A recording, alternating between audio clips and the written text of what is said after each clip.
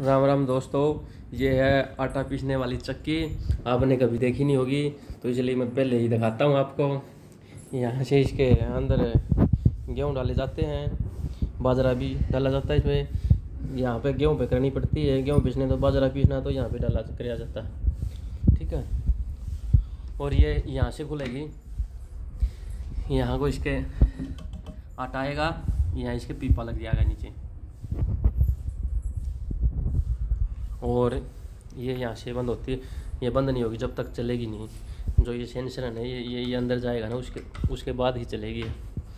और ये इसके फ्यूचर हैं। आप देख सकते हो। गेहूँ, चावल, गेहूँ, दाना, जवार, बाजरा, मक्का